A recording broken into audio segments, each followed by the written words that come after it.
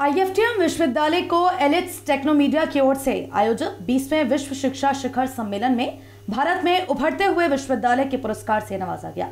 विगत 22 सितंबर से 24 सितंबर तक चले इस उच्च शिक्षा पर आधारित शिखर सम्मेलन में पूरे भारत के सरकारी और निजी विश्वविद्यालय से लगभग 80 कुलपतियों ने सहभागिता की।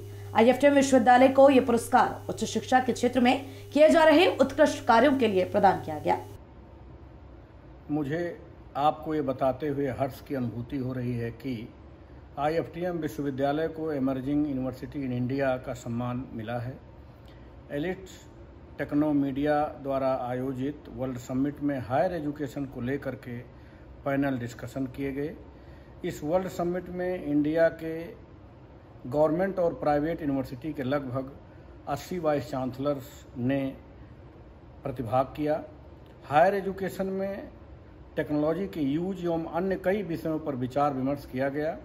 इस अवार्ड के लिए देश के बहुत सारे विश्वविद्यालयों ने आयोजन किया था, परंतु निर्णायक मंडल ने विभिन्न बिंदुओं को ध्यान में रखते हुए हमारे आईएफटीएम विश्वविद्यालय को एमर्जिंग यूनिवर्सिटी इन इंडिया के लिए चुना गया।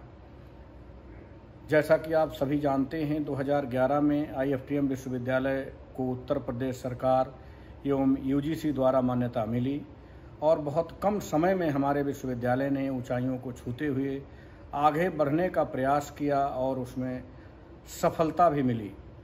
उत्तर प्रदेश में बहुत कम प्राइवेट विश्वविद्यालय ऐसे हैं जो नैक से ग्रेडिंग प्राप्त किए हुए हैं।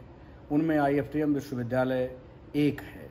विश्वविद्यालय के सभी फैकल्टी मेंबर्स एवं स्टाफ को कड़ी मेहनत के कारण आज हमें इस एमर्जिंग यूनिवर्सिटी इन इंडिया का अवार्ड मिला है। मैं अपने सभी टीचिंग एवं नॉन टीचिंग स्टाफ को बहुत बहुत धन्यवाद देना चाहूँगा कि ये जो पुरस्कार है, ये उनके अथक प्रयास का ही प्रतिफल है। बिना सामूहिक प्रयास किए कोई भी अवार्ड कोई भी सफलता नहीं मिल सकती। इन सब में सभी का बराबर योगदान है। केवल एज ए वाइस चांसलर होने के नाते सारा श्रेय संपूर्ण श्रेय मेरा ही नहीं है, बल्कि सभी फैकल्टी मेंबर्स एवं नॉन टीचिंग स्टाफ इसके लिए उत्तरदायी हैं।